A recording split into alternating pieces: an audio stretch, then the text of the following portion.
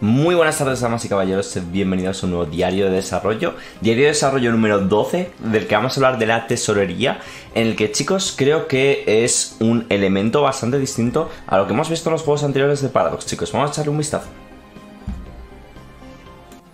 Vale, yo os voy ya os voy avisando de que os agarréis a vuestros caballos o como se diga la expresión en español porque creo que es un diario de desarrollo que cambia bastantes cosas sobre nuestras expectativas que podíamos tener sobre el juego. En primer lugar, eh, pues vamos a hablar de qué hacemos con los ingresos, qué hacemos con los gastos, un poquito de las deudas y cómo afecta esto al, eh, al panorama nacional de nuestra economía. Como decimos, el dinero va a ser una capacidad importante de, Victoria 3, en el sentido de que yo creo que es como un elemento a tener en cuenta como es nuestra capacidad administrativa, por ejemplo, o nuestra capacidad diplomática. Y en este sentido, el dinero va a ser algo que tengamos que tener presente continuamente y que en este caso en Victoria 3 cambia un poquito su gestión.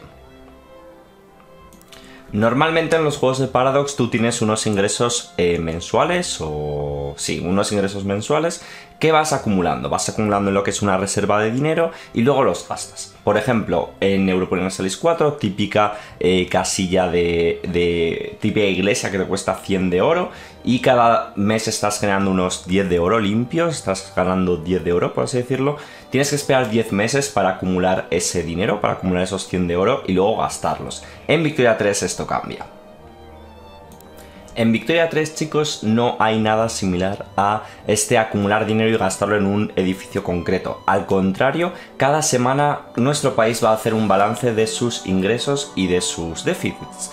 Al final de la semana creará pues un exceso de dinero o en caso de, bueno, un exceso de dinero que se irá a la reserva de oro, lo cual también afecta a varias cosas. Por ejemplo, si la reserva de oro tiene un límite, más o menos, que es, yo que sé, pongamos 20.000 eh, o 20 millones de libras. Si este, esta reserva de oro supera ese límite, estaremos literalmente desperdiciando dinero y el precio del oro se irá incrementando.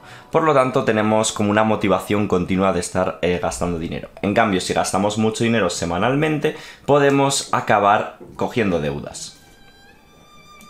Estamos viendo en esta imagen, chicos, cómo es la economía, la tesorería de los Estados Unidos en 1836. Y creo que aquí podemos ver básicamente cómo es el balance semanal. Como veis hay un equilibrio semanal y tenemos unas reservas de oro, ¿vale? Los ingresos vienen de, distintos, de distintas fuentes, por ejemplo, eh, ciertos impuestos sobre el consumo, dividendos, eh, minting, eh, pactos diplomáticos, etc. Y tenemos unos gastos. Como al final de mes estamos sacando un, equilibrio positivo, estamos obteniendo, perdón, al final de semana estamos obteniendo unos 31.000 limpios, ¿Vale? Excluyendo las, las eh, los gastos temporales. Este dinero extra se va a ir a la reserva de oro, ¿vale?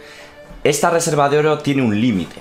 ¿Vale? O sea que no vamos a poder estar acumulando dinero infinitamente. Como digo, ese límite, si se supera, el dinero diferencial, por ejemplo, estamos en un límite de 20.000 y estamos generando, yo que sé, 4.000 al mes, esos 4.000 de límite, esos 4.000 extra que no estamos gastando se van a literalmente perder. Y además, si tenemos la reserva de oro con mucho dinero acumulado, el precio del oro se va a incrementar. Entonces tendremos que tener en cuenta muchas cosas, ¿vale?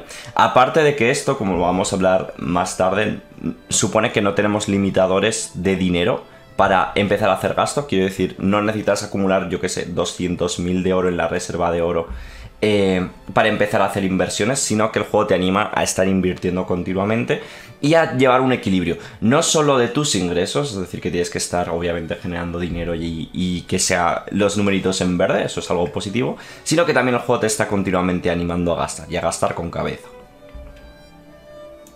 Aquí nos explican un poco cómo funciona la reserva de oro. Básicamente es donde acumulamos el dinero efectivo que puede haber en nuestro país. Si no tenemos ninguna deuda, todo el dinero que nos sobre se acumulará en esta reserva de oro. En cambio, si tenemos alguna deuda, la el dinero extra que vayamos generando cada semana se irá yendo a pagar las deudas poco a poco.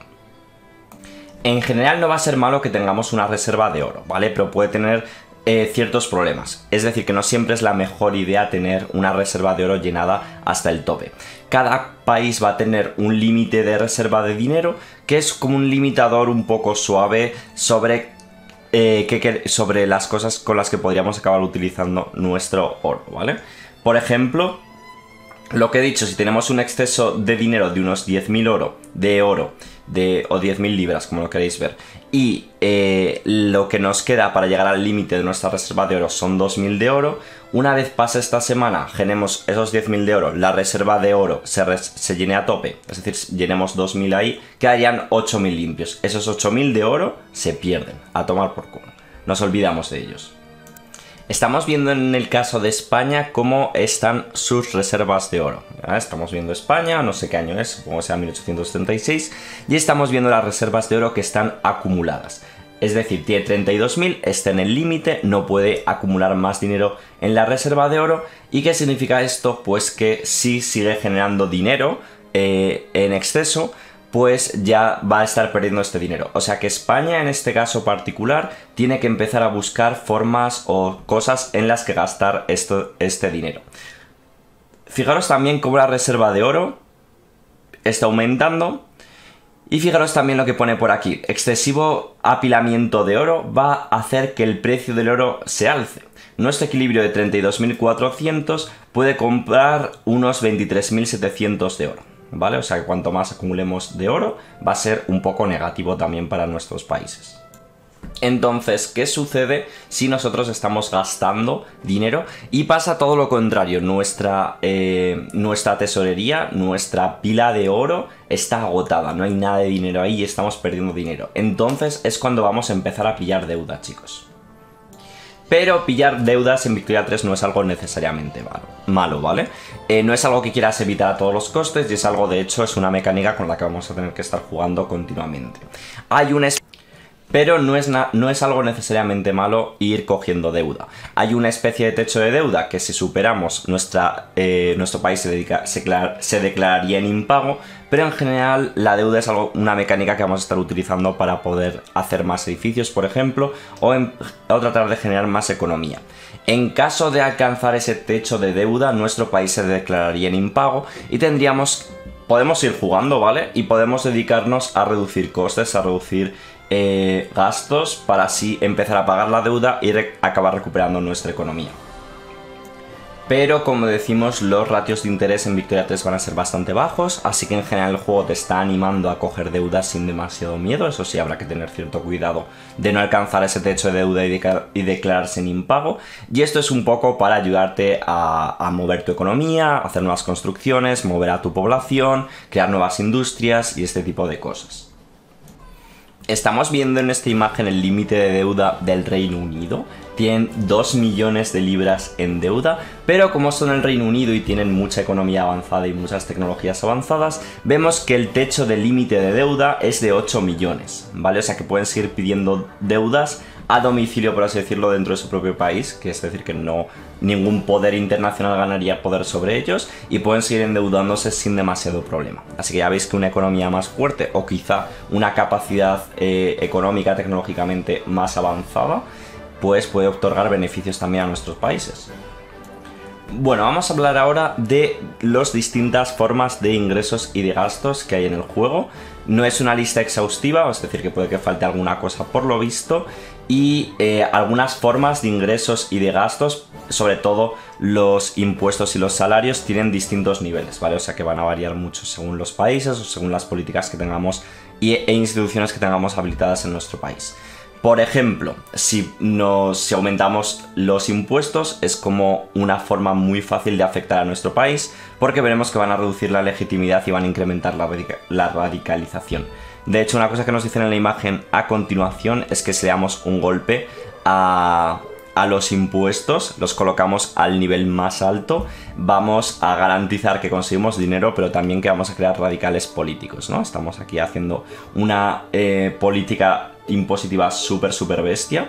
Y ya veis la cantidad de eh, radicales que van a, ir naciendo. Un 50% de radicales van a salir eh, al bajar al bajar el nivel de vida eh, estándar va a bajar en 10 la, legitimidad del gobierno. Así que ya veis que un poco todo se va interconectando en este juego. Es bastante, bastante, bastante tocho.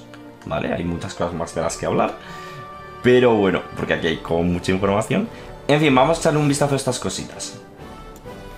En primer lugar tenemos el minting o acuñación. Todos los países pueden generar algo de flujo de, efectivo, eh, ya sea imprimiendo o emitiendo una nueva moneda en relación con nuestros ingresos, eh, con nuestros ingresos nacionales, con nuestro PIB, ¿vale? Esta acuñación nos va a dar cierto dinero para todos los países, sobre todo aquellos que tengan reservas de oro nacionales. Pero en sí mismo no va a ser suficiente opción para financiar cualquier cosa que no sea eh, un gobierno pequeño, ¿vale?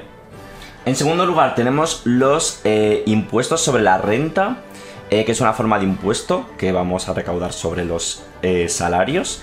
Es un porcentaje de los salarios que se les pague a los trabajadores, ¿vale? En todos los edificios pues se le va a acabar dando al dinero. Luego tenemos los poll taxis, que es una forma de impuestos per cápita, o sea, sería una especie de impuestos per cápita, en los que recaudaremos una suma fija de dinero por cada miembro trabajando en nuestro, o sea, cada persona con trabajo en nuestro país pues va a estar pagando dinero, ¿vale? Estos impuestos son muy regresivos ya que recaudan la misma cantidad independientemente de los ingresos, ¿vale? Son unos, ingresos, son unos impuestos un poco injustos por así decirlos, ¿vale? Luego tenemos los impuestos territoriales, que son un tipo especial de impuestos que no solo se van a recaudar en que solo se van a recaudar en ciertos tipos de poblaciones, por ejemplo los campesinos, ¿no? En plan podemos ponerle em, impuestos, yo que sé, a los maquinistas o a los terratenientes, etcétera, ¿no? Impuestos sobre el consumo, tenemos un impuesto que se va a aplicar directamente a un bien específico consumido por las poblaciones. Eh, por ejemplo, yo que sé, sobre el tabaco, ¿no? Podemos poner un impuesto al tabaco y que se encarezca un poco más y de ese modo generar un poco más de dinero. Tenemos impuestos sobre los dividendos, que va a ser un impuesto que se aplicará a todos los dividendos que se les pague a las poblaciones por participar de forma de propiedad eh, como empresarios, como, pues eso, como eh, parte de una empresa, eh, de, un de un edificio todos aquellos que sean propietarios de un edificio, si este genera ingresos, pues se les recibirán dividendos, pues podemos poner impuestos sobre estos. Son al contrario que los impuestos sobre las personas, son impuestos como más justos porque todos aquellos que estén generando como grandes beneficios acabarán pagando más. Entonces, pues tú puedes hacer aquí tu, país socialdemócrata ideal, supongo. Y, creo que es también una forma interesante pues de, de limitar un poco la riqueza y este tipo de cosas, ¿no? Finalmente tenemos las tarifas, que bueno, son impuestos que, eh, que no han terminado de implementar en el juego, pero básicamente la idea es tratar de sacar provecho de aquellos bienes que estemos exportando desde nuestro mercado, pero no están del todo listos para hablar de ellos. Vamos finalmente con los gastos. Tampoco están todos, pero son los que tenían así a mano de momento. En primer lugar tenemos los salarios del gobierno, que es básicamente aquellos el coste salarial de eh, tener trabajadores en edificios gubernamentales como administraciones gubernamentales o puertos. Tenemos, eh, tenemos gastos como los bienes del gobierno, que son los costes de materiales para los edificios gubernamentales. Por ejemplo, el papel. Hemos hablado en muchas ocasiones del papel para los edificios burocráticos, pues el papel es típico gasto eh, del gobierno, ¿vale? Tenemos los salarios militares, que es básicamente el, coste de pagar los salarios de las poblaciones que sirven en el ejército y la marina. Tenemos los bienes militares también, obviamente, que son los distintos artículos que va a necesitar nuestro ejército y nuestra marina como armas pequeñas para nuestros cuarteles. Para los cuarteles de la Guardia Civil en España, chavales. Tenemos los subsidios, que es el coste de subsidiar edificios específicos para asegurar que sigan siendo competitivos. Tenemos intereses, que es el coste de pagar los intereses de los préstamos en caso de tenerlos. Y finalmente el coste de la construcción, que es el coste básicamente de estar construyendo edificios, tanto en bienes necesarios para el método para... Em, eh, tanto en bienes requeridos para el método de construcción, es decir, el hecho de comprar bienes para hacer un edificio, como en los salarios pagados para las poblaciones que estén trabajando en esta industria de construcción. Y esto es todo por el diario de desarrollo de hoy. ¡Wow! Me mola un montón, chicos. En plan, poco a poco voy estando más y más hipeado con el juego. Sé que puede quedar bastante para que se lance. Pero, tío, eh, un cambio muy, muy, muy importante en general con todo lo que conocíamos de Paradox. O sea, que me gusta el girito que le están dando a la parte de, de los gastos y los ingresos y qué hacer con el dinero en este juego. Sobre todo porque tío, nos vamos a olvidar, y esto mola mucho, de la idea esta de estar eh, mes a mes acumulando dinero y gastándolo, decidiéndolo si gastar, si, si guardarlo para otra cosa. Aquí va a ser como mucho más fluido y natural todo. Y joder, es como típica cosa con la que quiero interactuar, típica cosa con la que quiero probar.